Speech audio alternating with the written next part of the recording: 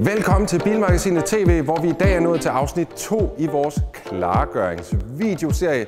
I afsnit 1 var vi på besøg hos en af mine gode venner. Han hedder Lars Oxholm, bor i Vejle og er en af Danmarks bedste klargøringsfolk. I afsnit 2, der skal vi kigge på den perfekte bilvask, og det vil jeg gøre med nogle meget simple trin. Jeg har tænkt mig at vise jer, hvad I skal bruge af produkter. Jeg har også tænkt mig at vise, hvordan jeg gør det. Jeg skal også lige huske at sige, at den her videoserie er sponsoreret af Turtle, og det vil sige, at vi bruger deres produkter i serien. Og inden vi når så langt, så skal nye seere selvfølgelig have en introduktion til bilen, vi arbejder på. Det er min egen bil. Ja, det er det da. Den hedder Sølvreven, og øh, den er 20 år gammel. Den har gået 165.000 km for ny. Det sidste halve år, der må jeg altså indrømme, der har jeg slet ikke engang vasket den. Det vil sige, den er møgbeskidt. Der er en masse vaskerisser. Der er også nogle andre risser rundt omkring, så jeg vil prøve at se, om jeg kan fjerne. Meningen med den her program så er at se, hvor langt jeg kan komme. Altså en helt normal dansk, en helt normal bilist, en helt normal bilejer, hvor langt jeg kan komme med helt normale ting, som du kan hive ned fra hylden i din øh, bilistforretning. Jeg ved godt, at der sidder rigtig mange af jer derude, der er helt ekstremt gode til det her klargøring og polering, og I sidder og nørder det på YouTube og ser Ammo NYC og alle de der fede. Det gør jeg også nogle gange.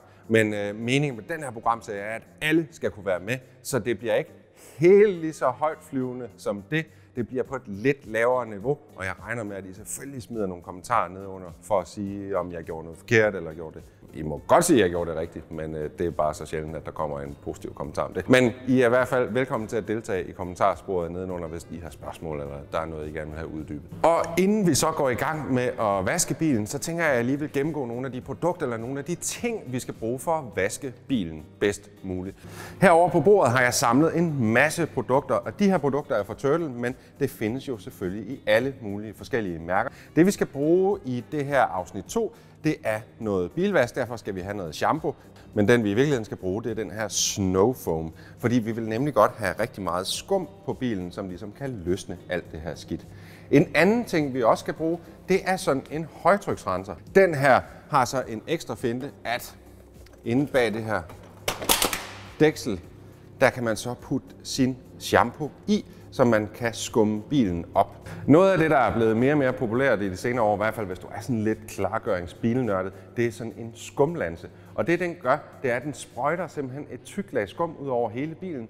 Og øh, meningen er så, at det her skum skal kunne løsne skidtet op, så det bliver skyllet af bilen, når du så skyller den igen. Men det er jo altså ikke alle, der har sådan en skumlanse til rådighed, og derfor så kigger vi i dag også på, hvordan du gør det uden sådan en skumlanse, så alle kan være med. Noget andet af det, der er mega vigtigt, når vi skal vaske bil, det er de her vaskebøtter. Og de har faktisk en ret stor betydning. Her har vi to bøtter, og det er det, man skal bruge, hvis man vil vaske en bil helt perfekt. Det er altså det, man kalder et tospandsprincip. At de her spande er lidt specielle, for de har en såkaldt grid guard nede i bunden. Det, det her system gør, det er, at den her rest den ligger i bunden af spanden, og det gør, at alt skidtet falder ned til bunden. Det betyder, at du ikke får skidt og sand og alt muligt snask op i din vaskebørste. Og gør du det, så riser du jo faktisk hele bilen. Men bruger du sådan en gridguard, så kan du altså komme af med rigtig meget af det her snavs. Og øh, når vi kommer op og vasker bilen, så kan I så se, hvad jeg skal bruge spand nummer to til. Nu skal jeg i gang. Det er derfor, jeg har taget idrætstøj på. Det har jeg ellers normalt aldrig, men jeg ender altid med at svede sindssygt meget, når jeg øh, vasker bil. Og det er altså den eneste træning, jeg får, og det forklarer nok. Ja. Fra nu af, så skal vi til at arbejde på bilens lak, og så er det altså vigtigt, at du får fjernet sådan noget som dit ur, din øh, hvilesesring og alt muligt andet, der kan ris. Du vil blive så ærgerlig, hvis du kommer til at rise bilen. Det vil bare være dumt. Inden du går i gang med bilvasken, så er det altså vigtigt, at du finder et sted i skyggen at vaske din bil. Allerbedst så er det at vaske bil om aftenen, når solen er gået ned, eller i hvert fald, der er godt med skyer på himlen. Hvis du vasker bil i direkte sollys, så vil solen få vandet på bilen til at fordampe, og så vil du få de her kalkpletter. Og det næste trick, det er at bruge sådan noget her, inden du går i gang med at vaske bilen. Det hedder Iron Off Gel, og det det gør, det er, at det fjerner flyverust. Så pointen er, at ligesom når jeg bruger fældrens, jeg sprøjter det på fældene, så bruger jeg det her på bilen. Det sprøjter jeg rundt her fra hovedkanten og ned hele vejen rundt om bilen. Det er der, der typisk kan være flyvrus på den det her produkt, det vil så opløse flyverusten, og så kan jeg skylle det af, inden jeg så går i gang med den rigtige bilvask. Det er ikke meningen, at du skal bruge det her hver gang du vasker bil, men en gang imellem, måske en gang hvert halve år, så kan det være en meget god idé. I hvert fald hvis du kører mange kilometer og bruger sådan et produkt. Og det der er med det her flyverustfjerner, det er, at det fungerer faktisk ligesom en fældrens. Det er bare ude på lakken. Og selvom det er lidt svært at se, så er der de her små lilla prikker, og det er altså der, hvor flyverustfjerneren faktisk går ind og reagerer med flyverusten. Men den har ligesom fået de her lilla prikker over det hele, og det betyder i hvert fald, at der er noget flyverust, der kan fjernes. Og nu forklarer jeg det her tospandsprincip.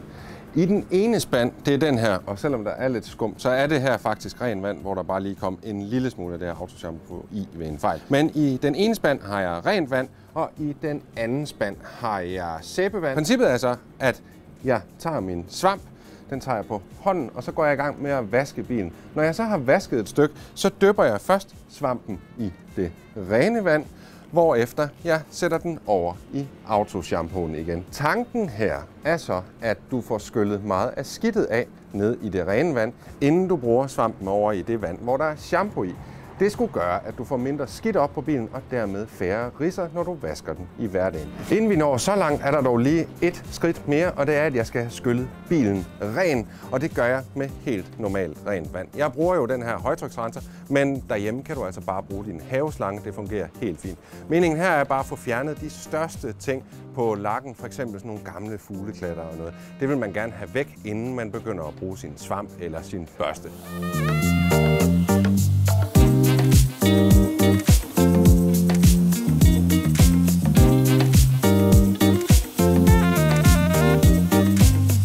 Jeg så skyllet bilen af med højtryksrenseren, og nu gælder det altså om at bruge mit øh, tospandsprincip, og med det skal jeg så vaske hele bilen. Jeg starter oppe, det er der, der typisk er mindst skidt, og så slutter jeg nede i bunden. Nu skyller jeg min handske i det rene vand, og så over i spand nummer to, sæbevand. Ah, hav, det er varmt, det her vand. Så gælder det om at starte op fra, jeg har allerede taget taget. Så tager jeg roderne hele vejen rundt, og så arbejder jeg mig stille og roligt ned af på bilen. På den måde så får du så lidt skidt ind i din svamp som overhovedet muligt, og så får du ridset bilen mindst muligt. Og husk, fælgene, dem bruger du altså ikke den her til. Det kommer vi tilbage til lidt senere, hvad du gør med din fælge. Så er vi blevet færdige med at vaske bilen. Vi har altså skyllet den over, vi har puttet flyverustfjerner på, og så har vi skyllet den af igen, og så har vi skummet den til og vasket den af. Og nu er vi så klar til at rense fælgene. Fældrens, det er super nemt at bruge. Du sprøjter det sådan set bare på, dyb, dyb, dyb, rundt på fælgen, og så lader du det sidde.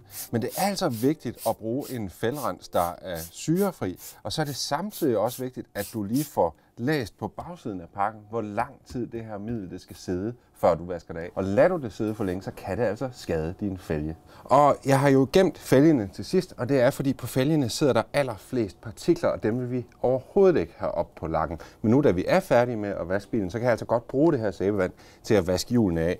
Og jeg bruger også en speciel børste, og det her det er den meget specielle opvaskebørste. Det er sådan set det, jeg plejer at bruge til fælge, fordi jeg synes, sådan en blød opvaskebørste, det er sådan set mere end rigeligt til din fælge. Og fælderensen har virket, I kan se, den er helt lilla.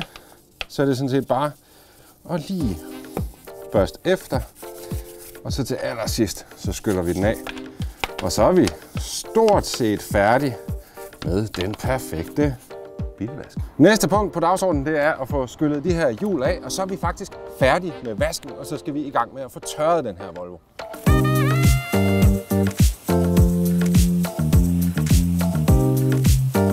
Nu er vi sådan set færdige med at vaske Volvoen, og nu gælder det altså bare om at få den tørret af.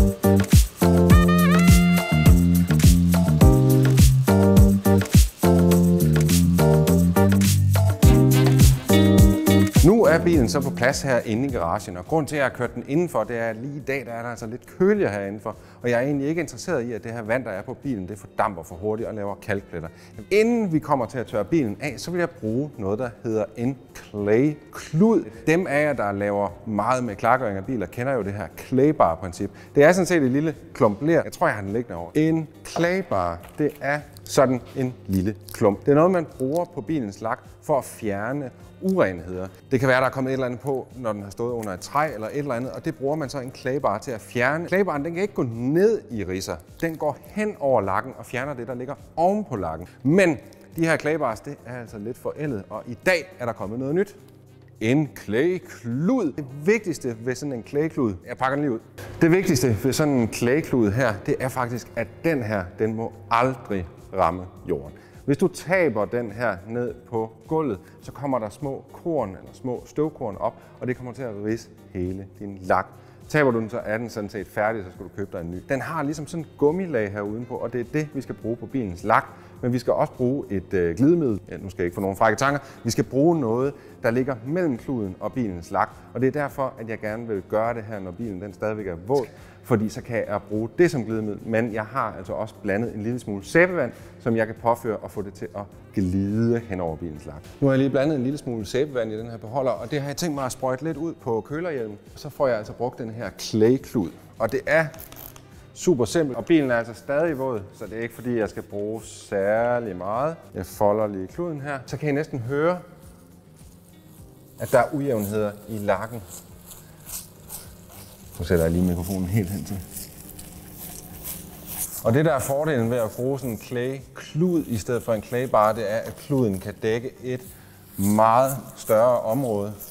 Og derfor så kan du rengøre din bils lak på meget, meget kort tid faktisk. Ikke, man kan se det helt på kameraet, det er, at den her klud, den opfanger ligesom alle de her urenheder i bilens lak. Det næste, der skal til, det er, at øh, jeg tør den af for det her sæbevand. Og så kan vi se lakken, og så kan vi se, hvilke fejl den har, og øh, det er jo så dem, vi skal arbejde med næste gang.